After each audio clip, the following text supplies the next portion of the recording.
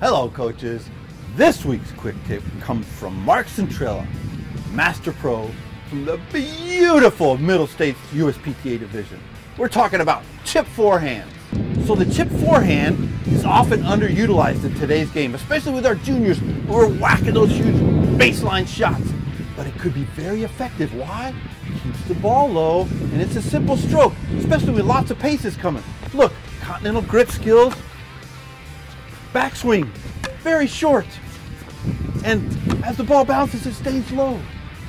As you take your racket back, not much more than your peripheral vision. Your follow through, basically back to the ready position. Very compact stroke.